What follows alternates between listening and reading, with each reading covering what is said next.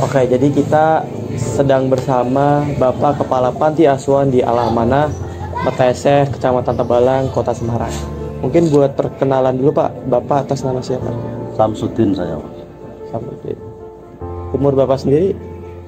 Ke 50 tahunan. Ada 50 ya Pak?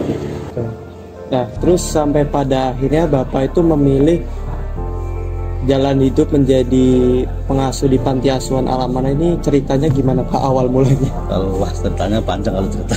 Ya, Sebetulnya gini, dulu awalnya kan kita disuruh ya saudara suruh mengelola sebuah yayasan lembaga di lembaga namanya mungkin dulu Fatimah Tunya berjalan 10 tahun setelah itu diminta yang punya mintanya itu udah empat mata atau lewat pengurus tidak langsung utusan. Utusan di sekarang diminta. Gitu aja.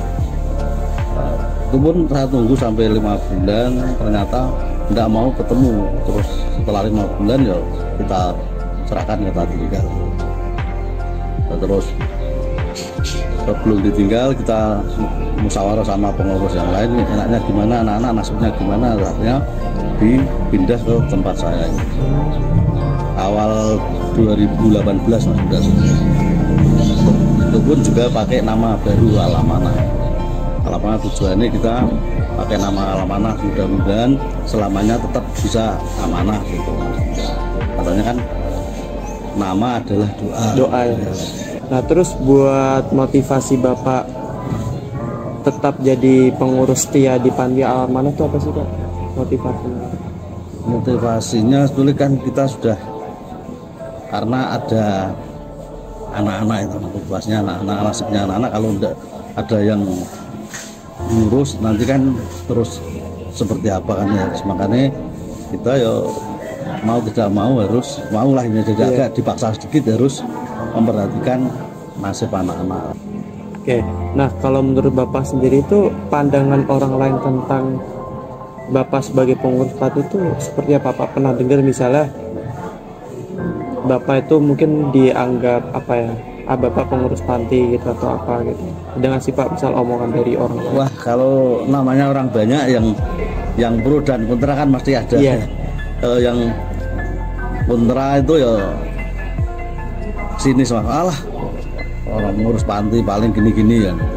Tapi kalau yang sudah tahu minimal teman-teman panti, pengurus panti yang lain, ya mengapresiasikan mas, karena walaupun saya di sini baru atau kecil anak-anak pantai itu kita berusaha makan minum dan operasional lain-lain sama sekolah kita gratis ya kita walaupun mengandalkan para dermawan kita tetap kita tasarukan beneran mas untuk biaya kebutuhan anak-anak beneran.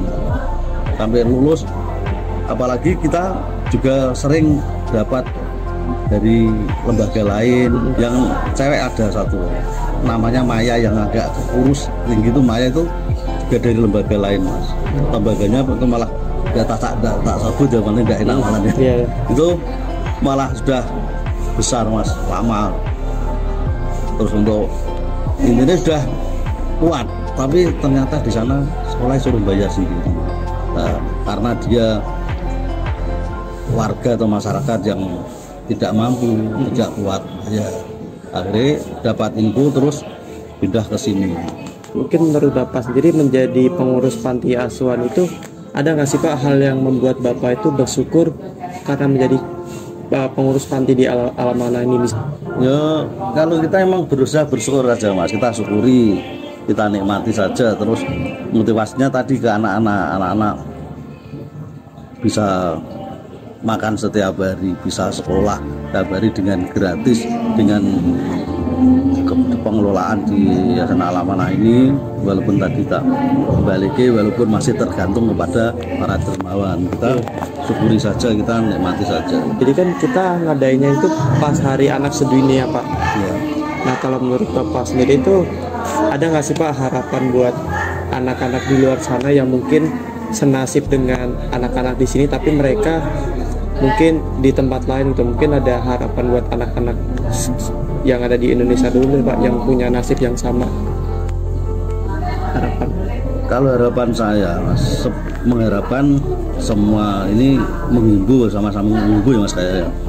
semua pengurus atau lembaga lembaga yang ada di khususnya di Semarang Iya. yeah. di satu Indonesia ini kalau bisa dijalankan apa mestinya misalnya hak anak itu harus dipenuhi gitu.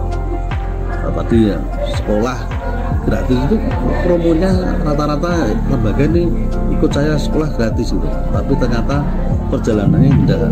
Kalau saya kan berusaha dari awal gratis tetap sampai lulus pun gratis. Ini harapan saya pengurus lembaga se-Indonesia itu harus menjalankan tugasnya semestinya dari misi dan misi awalnya. Hmm. terus hak anak terpenuhi jadi anak bisa eh, intinya anak walaupun senasib di yayasan ini bisa setara anak-anak yang di luar lembaga atau yayasan ini. Harapan saya seperti itu. Mungkin ada satu uh, terakhir Pak, mungkin ada quotes nggak sih Pak? buat anak-anak sedunia kita atau kata-kata motivasi dari Bapak sendiri gitu, buat anak-anak di seluruh Indonesia gitu. ya kalau menurut saya ya harapan atau motivasi ke anak-anak seluruh Indonesia yang bernasib seperti di anak-anak ala jangan eh, ini jangan kecil hati semangatlah untuk eh, menggapai cita-cita sampai setinggi tingginya sekarang juga pemerintah pun juga memperhatikan uh, sampai ada beasiswa kuliah pun kalau yang anak yang mau kan bisa. Jadi harapan saya anak-anak itu harus semangat belajar walaupun yang benar-benar sudah ada ada orang tua maupun orang tua yang kurang mampu. Harapan saya tetap semangat untuk belajar sampai menggapai cita-citanya Oke, dari kami itu aja Pak. Terima kasih sudah diterima dengan baik di sini. Kita dari mewakili Sosmas BEM Undip mengucapkan terima kasih banyak dan mohon maaf jika terdapat kekurangan dari segi segala kegiatan maupun material. sama-sama mas